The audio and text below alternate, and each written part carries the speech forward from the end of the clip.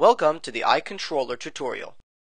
Here you'll learn the basic steps to start enjoying your media.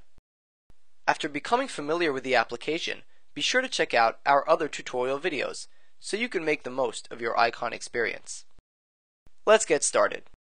To navigate through the blocks, simply scroll right or left to different blocks and up or down to see all the contents of a block. To search for media on your network and on the web, simply enter text in the search block and hit go. The results will immediately appear in the results block. To play the media you've discovered, simply click and drag over to the device you'd like to play it on in the play block. Done! The media will now start playback on that device.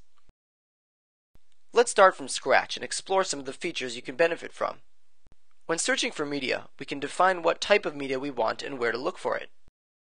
Remember, Eyecon Manager will automatically find your media libraries, like iTunes or Windows Media Player. Make sure you have Eyecon Tunes running anywhere you want Eyecon to search your iTunes library. Browse through your results and preview any media. Click on the Media Items tab to view it in your personal preview block before sending it to a device.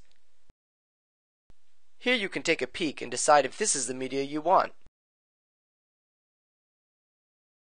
Once you've chosen a media item, drag the item you want into the pick list. The pick list is like a favorites folder, saving for later any media you place there. To remove an item from the pick list, simply drag and drop to the left of the pick block. From the pick list, you can send your media to a device of your choosing. First, choose a device by clicking the Desired Device tab. Then simply drag the item from the pick list and drop it in the plug block. The media will start playback on the device you chose. Remember, if certain media is incompatible with that device, like trying to play a video clip on a stereo system, a red X will appear.